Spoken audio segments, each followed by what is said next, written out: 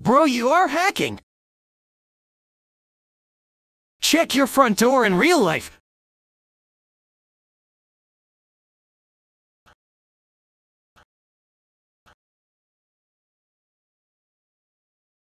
Are you ready to die, hacker?